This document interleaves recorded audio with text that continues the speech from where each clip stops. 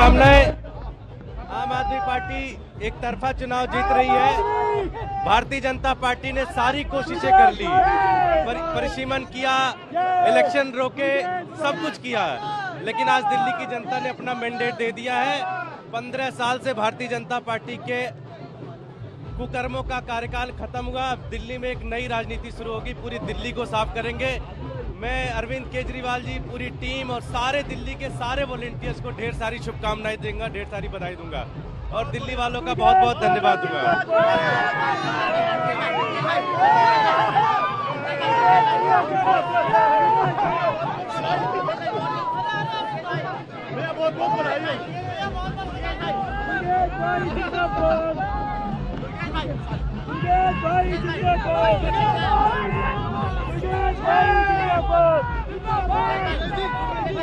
Bye.